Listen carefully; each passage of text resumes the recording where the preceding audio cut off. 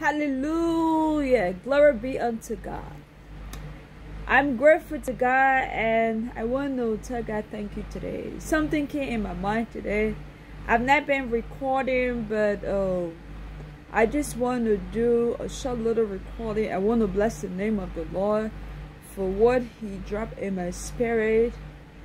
Uh, last night, between yesterday and today, uh, I feel a new spirit and I feel newness in my body. I want to give God thank you for this. And also uh, reading, I, I read the book of Jonah.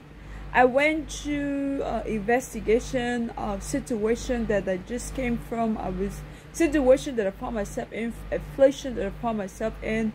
And I examined my, my life, how I got into that inflation and God led me into good repentance. And after that repentance, uh, God gave me a dream. This uh, the dream was uh, Sunday morning, and God blessed my life. And I'm continuing in the book of Jonah. I'm on Jonah chapter two, where God also I came across today. I came across uh, today in the book of Jonah how. Um, Jonah looked onto the holy temple of God and God delivered Jonah life. Um, uh, God brought up Jonah life from corruption.